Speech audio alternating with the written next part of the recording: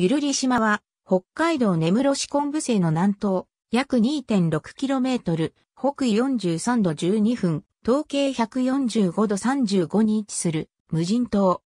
面積、約200ヘクタール、周囲約7.8キロ、海抜43.1メートルの断崖に囲まれた平坦な大地上の島である。ゆるりはアイヌ語で、うのいる島という意味を持つ。海鳥の繁殖地として重要な場所であるとともに、島の中央部の高層湿原は約1万4000年前に湿原が成立してから時間経過が長く希少な植物が多く生育している。また、野生化した馬が生息する島としても有名である。ゆるり島は、エトピリカ、チシマウガラス、ケーマフリをはじめとする国内有数の北方系海鳥の営巣地となっている。そのため、隣のモユルリ島と共に、1982年3月31日に、国指定ゆるりもゆるり鳥獣保護区に指定されている。また、北方を代表する自然草原として代表的な植物はほとんど網羅しているため、植物学的にも大きな関心が持たれている。北海道により天然記念物に指定されているため、メディアをはじめ人の立ち入りは禁止されている。ゆるり島は島の北側に標高40メートルの平坦面があり、その南側に標高30メートルから20メートルの平坦面が発達している。また島の内部には高層湿原が発達しており、そこから流れ出す消火栓が散在している。島全体が海色崖に囲まれており、浜は島の北岸の石から浜、北東の入江にある箇所の浜の2箇所のみであり、かつて昆布番屋に利用されていた。また、箇所の浜には、島で最も大きな河川が流れ込んでいる。島の基盤を構成する地質は、根室層群の中の最上部を構成する、ゆるり類層からなり、その走行、傾斜は N40 度から60度、E20 度 SE を示す。ゆるり類層の岩質及び岩層は、主として火山塩歴岩、周海岩、溶岩、歴岩などから構成され、砂岩や泥岩を挟んでいる。ゆるり類層の砂岩や泥岩中には化石が稀に産出するが、保存状態の良いものは少ない。また、厚さ10センチメートル程度の良質の石炭がレンズ状に挟まれている。基盤のゆるり類層の上位を高深予の海岸段球体石物が薄く覆い、さらに上位を関心予の風性火山灰層が多い平坦面をなしている。ゆるり島は古くから船の白地として知られ、天明年間の初めの頃に書かれた古い文献に登場する。文化年間以前にはアイヌがゆるり島に住居し、魚を取っていたという記録が残っている。江戸時代、高田や貨幣が航路安全を図り、ゆるり島に根室初の琴平神社を創し、天保14年、根室志母港に移転。明治時代の初め頃から漁家約9個が、ゆるり島に渡り昆布を取っていた。大正5年には、北日本洋古城が、ゆるり島で、銀狐の飼育を始めるが、約10年で閉鎖。戦時中には、軍が放牧養蜂を行っていたという証言が残っている。島には、砲台も整備されたが後に撤去されたと言われている。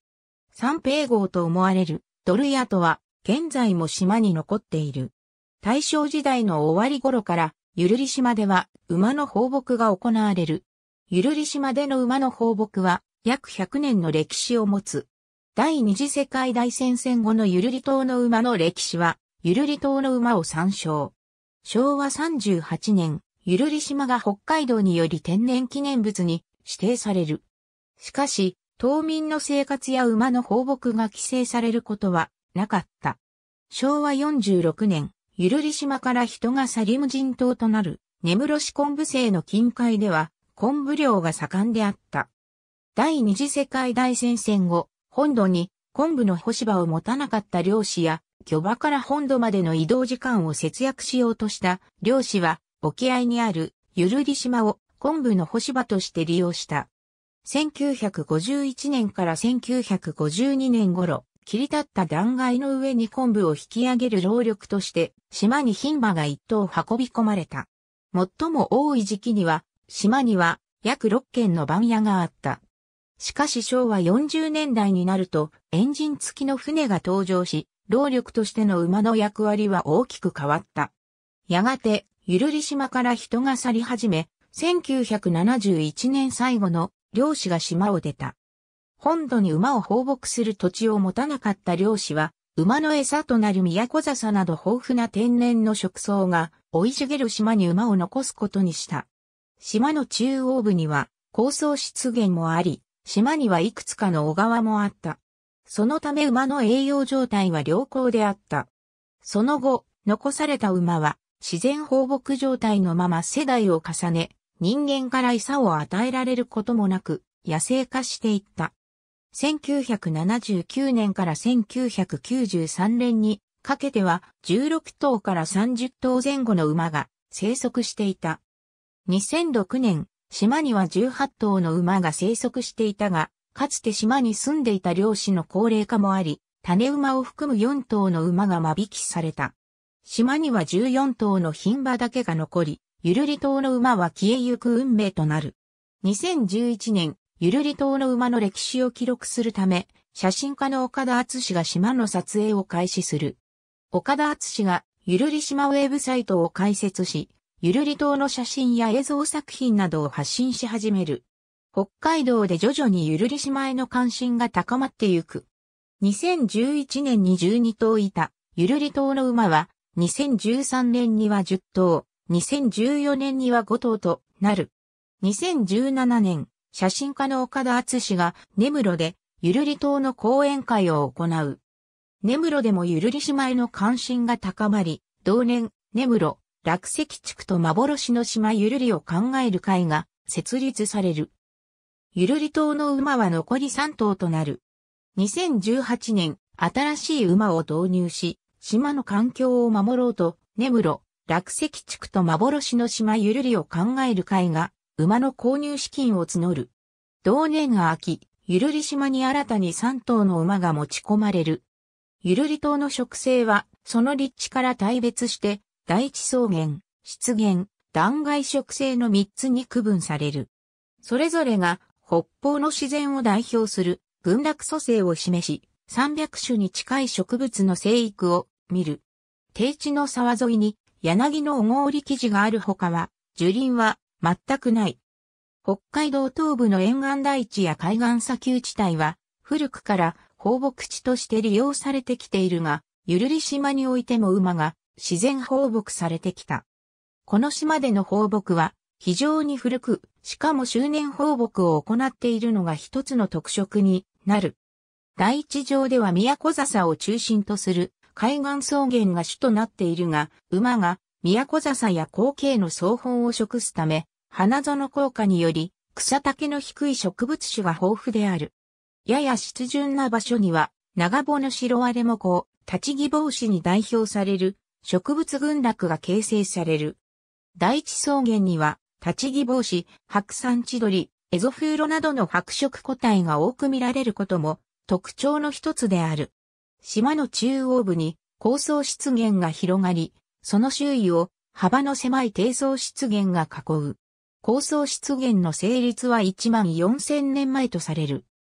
関心予諸島の暖流の北上に伴い発生した夏季の海霧とそれに伴う低温などの特殊条件が影響し成立した古い歴史を持つものである。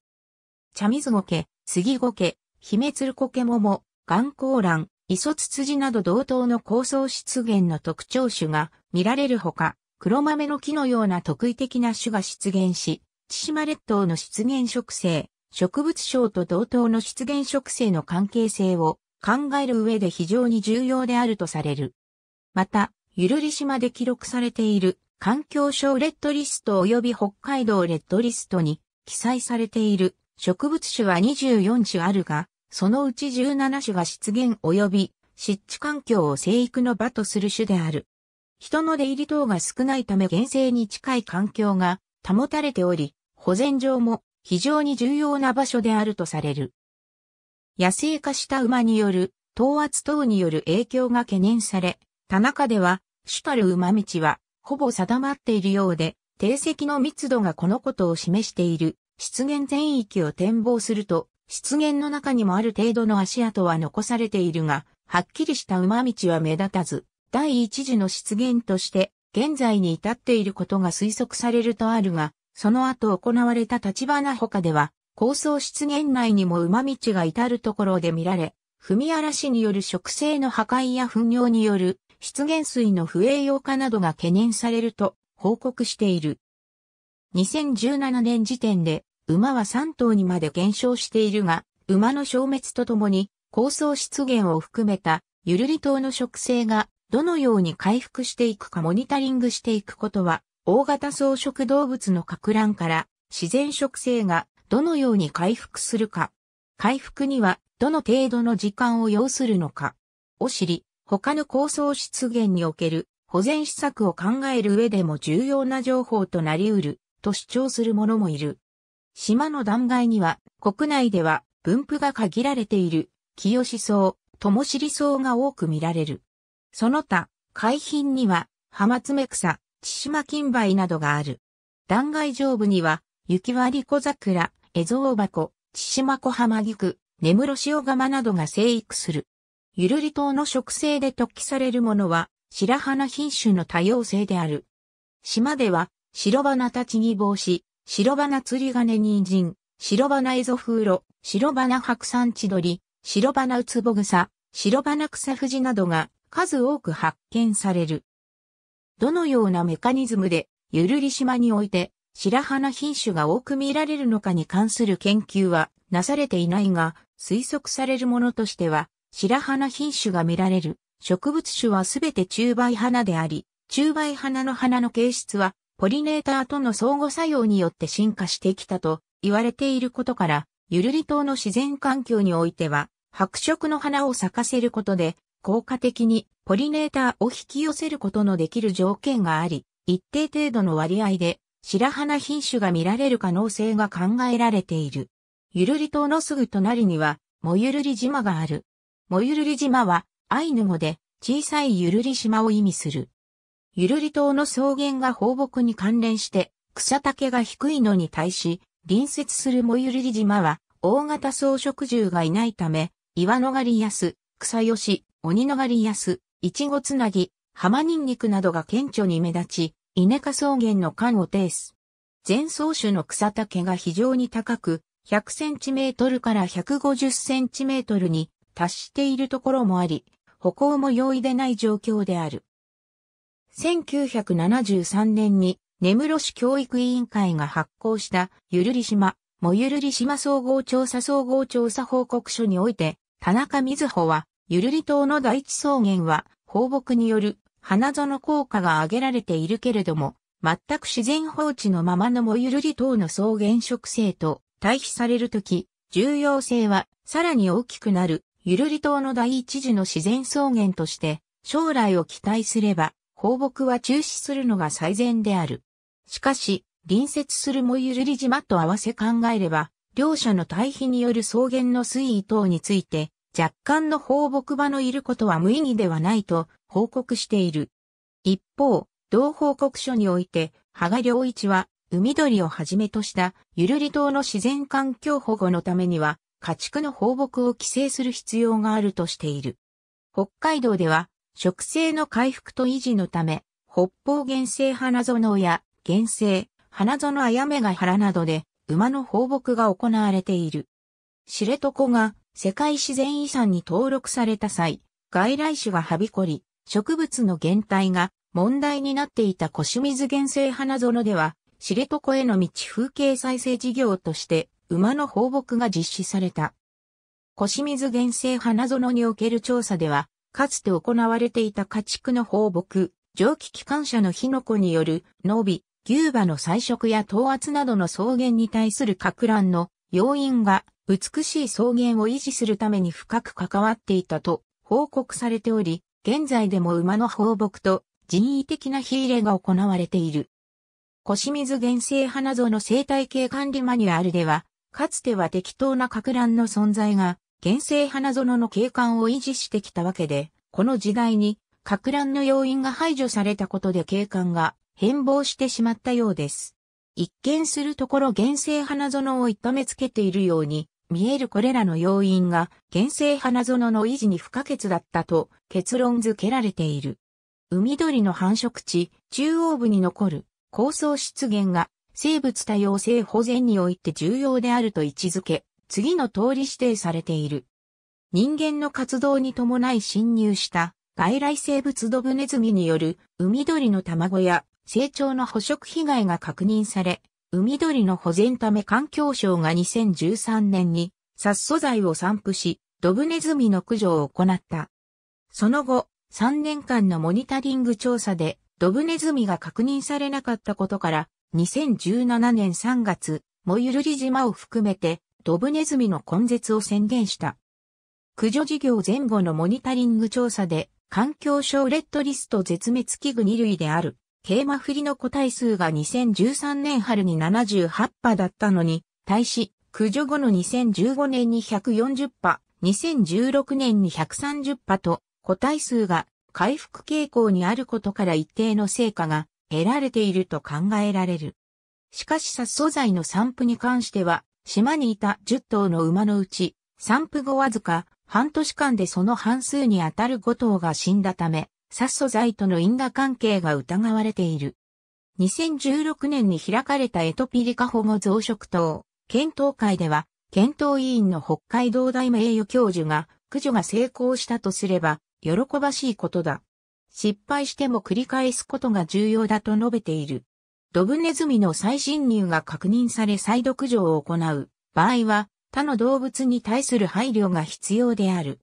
ゆるり島への上陸は禁止されているが、根室市昆布制漁港付近の高台からは、天候などに恵まれれば、双眼鏡などを使用して野生化した馬の姿を確認することができる。また、根室市落石漁港から出港している落石ネイチャークルーズに乗船すれば、ゆるり島をより間近で観察することも可能である。ありがとうございます。